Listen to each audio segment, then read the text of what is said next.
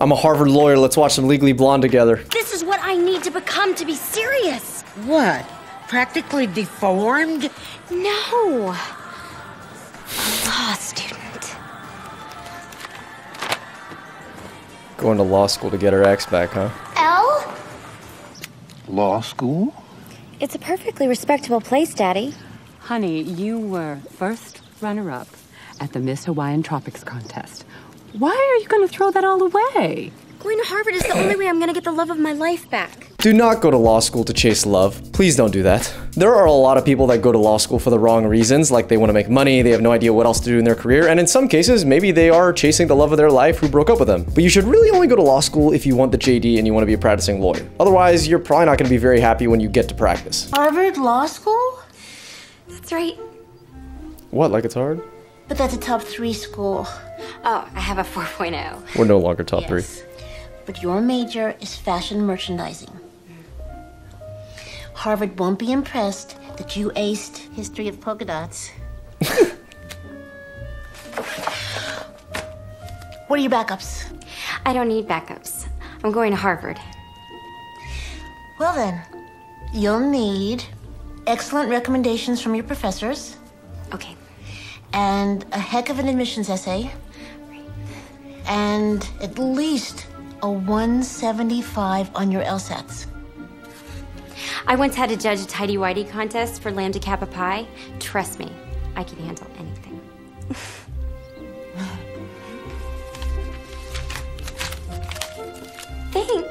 Some of what the counselor said in this scene is true and some of it isn't. First of all, law schools aren't going to punish you if you did a relatively easy major. They will, however, give your GPA a slight boost if you did a difficult major like molecular cell biology or engineering. But admissions offices aren't going to punish you for having a relatively easier major like fashion. The rest of what the counselor said is accurate. Elle is going to need great letters of recommendation and a really compelling personal statement to convince Harvard that she is the right candidate for them. And though you don't need a 175 plus on the LSAT, it will definitely help your chances of getting in.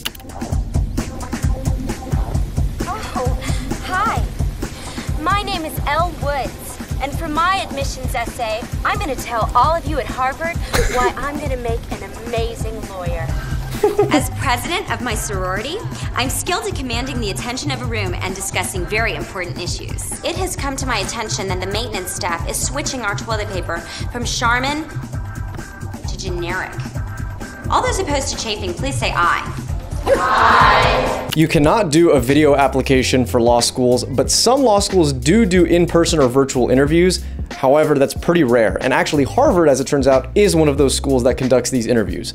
But those interviews tend to be pretty basic. We're talking 10 to 15 minutes, and they're more a personality fit test than anything else. And that's why you should vote for me, Elle Woods, future lawyer for the class of 2004.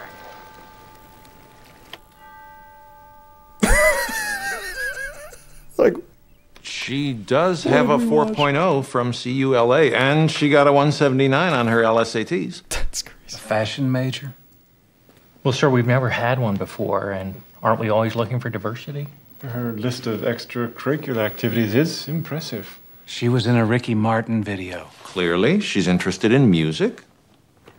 She also designed a line of faux fur panties for her sorority's charity project. Uh huh. She's a friend to the animals as well as a philanthropist. Elle Woods.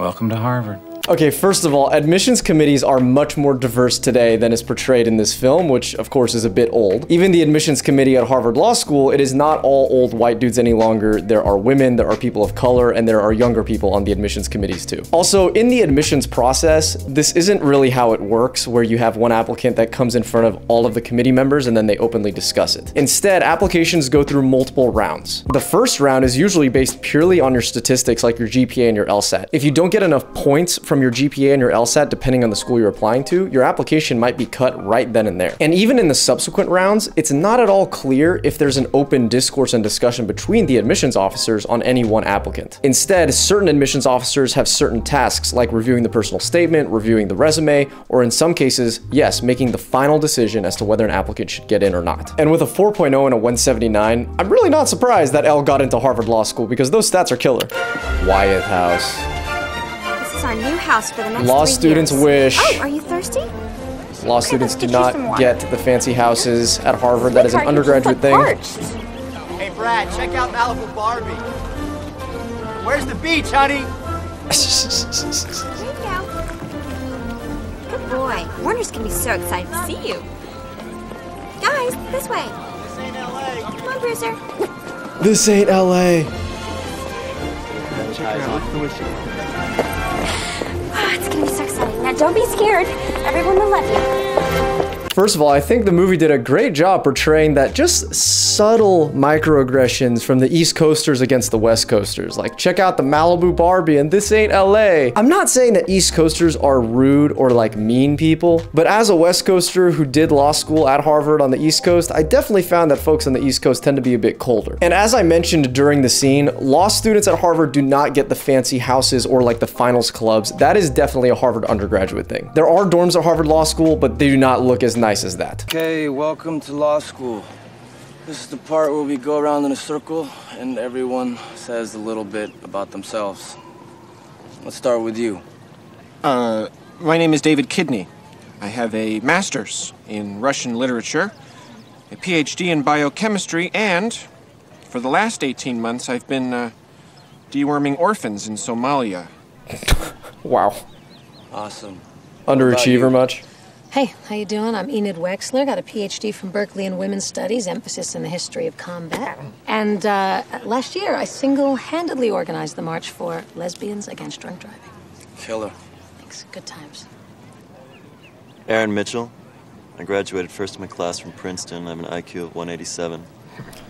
and it's been suggested that Stephen Hawking stole his brief history of time from my fourth grade paper. cool. Okay. Me? Yeah. Okay. Hi, I'm Elle Woods, and this is Bruiser Woods, and we're both Gemini vegetarians. I have a bachelor's degree in fashion merchandising from CULA, and I was a Zeta Lambda Nu sweetheart, president of my sorority Delta Nu, and last year I was homecoming queen. Oh, two weeks ago I saw Cameron Diaz at Fred Segal, and I talked her out of buying this truly heinous Angora sweater. Whoever said orange was the new pink was seriously disturbed. Look at their faces. All right, I gotta say, as much of a joke as that scene kind of was, making fun of how all of these students at Harvard Law School have these crazy intense backgrounds, it's pretty accurate. To make it into Harvard Law School or Yale Law School, Stanford Law School, any of these top institutions, requires you to be a stellar, stellar applicant. And stellar can take many different forms. I had one classmate who was a backup dancer for Britney Spears and Beyonce. I had another who had already founded several nonprofits by the time they were in undergrad and had raised hundreds of thousands of dollars for them already. Some of my classmates served in Afghanistan and Iraq. Others were startup founders with successful exits already under their belt. There were activists, there were whip smart PhDs, and then there were students kind of like myself who were high academic achievers all the way until they got into Harvard Law School. Harvard really is one of the most powerful academic brands, and the admissions offices know that. So they really look for the best and the brightest and the most stellar applicants that they know will reflect better on their brand in the future as well. Elle? Warner? Uh, I totally forgot you go here. What are you talking about? Uh, I, am sorry, are you here to see me? No, silly. I go here. You, you go where? Harvard. Law school. You got into Harvard Law? What, like it's hard? Oh my gosh, Warner, it's gonna be so great. That is the most iconic scene and iconic line ever, man. What, like it's hard? I can't tell you the number of times that that phrase was uttered in emails and on newsletters and between students when I was on campus at Harvard Law School. The student culture there loves Legally Blonde. Now, I assume all of you have read pages 1 through 48 and are now well versed in subject matter jurisdiction. Who can tell us about Gordon versus Steele? Let's call on someone from the hot zone.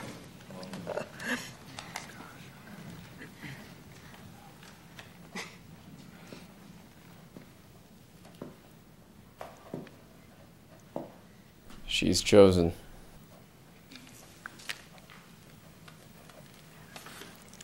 Elle Woods. Oh. um, actually, um, I wasn't aware that we had an assignment. Oh, not what you want to say. Oh. especially when you're cold called in lecture. You will get roasted, and it's embarrassing, obviously. But it's also not graded. Vivian Kensington, do you think it's acceptable that Ms. Woods is not prepared? No, I mean, what is she supposed to say? I don't. Would you support my decision to ask her to leave class and to Ooh. return only when she is prepared? That's harsh. Absolutely. Well, bye bye. Ouch. That's not a great way to start your 1L year. Okay, first of all, if you didn't do the reading and you disclose that to the professor, these days it's really unlikely the professor is gonna go as far as to tell you that you need to leave lecture. Sometimes they'll give you a little bit of attitude and say, wow, you're not even doing your reading? Okay. Or they say that you better be prepared for the next lecture because they're gonna come back to you. But when I was in law school and classmates didn't know the answer or they didn't do the reading, the professor would just move on. They wouldn't really punish them or tell them to leave. Now, at the same time, I think this scene does a great job portraying what law school lectures actually look and feel like, which is by the Socratic method. The Socratic method is how most law professors teach their classes, and what it really looks and feels like is after the students do a reading, they come into class, and then the professor will cold call different students and grill them on the facts of the cases, the reasoning, why the judges said this versus that, and then spark a discussion and discourse between the students and the professor on the concepts that they are learning. Now, some people, like myself, don't really think that this is an effective way to teach because a lot of the time, like 60% of lecture just boils down to people throwing out their own ideas when the actual case law could be condensed and taught in a much shorter amount of time. But the idea of the Socratic method is to teach you to think like a lawyer, and that also requires being called out on the spot for the facts of the case and being able to defend your position and think critically on the spot with somebody on the other side, in this case the professor, grilling you about the case. Competing against each other for the top grade in this class. You will also be competing for one of my firm's highly coveted four internship spots next year, where you will get to assist on actual cases. I've never seen a professor do that, like offer work, internships. Sometimes they'll offer research positions. Now let's commence with our usual torture. Ms. Woods. Would you rather have a client who committed a crime malum in se or malum prohibitum? Neither. And why is that? I would rather have a client who's innocent. It's kind of a fair answer. Ms. Woods. Dodging the question, but kind of fair answer. Ms. Kensington, which would you prefer? Malum prohibitum. Because then the client would have committed a regulatory infraction as opposed to a dangerous crime. Well done, Ms. Kensington. I actually think Elle's answer was pretty funny and also a fair one, but Vivian's is more accurate. A malum in se crime is something that is bad by nature, and this is something that people generally, morally speaking, will say is wrong, like murder or rape. In contrast, a crime that is malum in prohibitum is something that we have collectively decided as society is technically a crime, even if it's not the most morally questionable crime. For example, jaywalking or failing to pay your taxes on time. And did you see how the professor went directly from Elle to Vivian when he wasn't satisfied with Elle's answer? That's pretty accurate as to how these professors will lead their Socratic teaching method in law school. Hi, everybody. Elle, what are you doing here? I've come to join your study group. And look, I brought sustenance. Who's first? Mm-mm, mm-mm. Our group is full. Oh, is this like an RSVP thing? No, it's like a smart people thing. And as Viv said, Gunners. full. Come on, guys, we can make room for one more. We've already assigned the outlines. The answer is no. Mean. So petty, dude.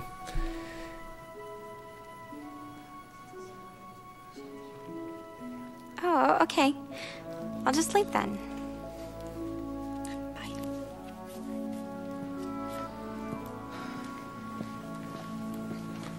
Hey, maybe there's like a sorority you could like join instead, like. You know, if you had come to a rush party, I would have at least been nice to you. Oh, is that before you voted against me and then called me a dyke behind my back? I don't use that word.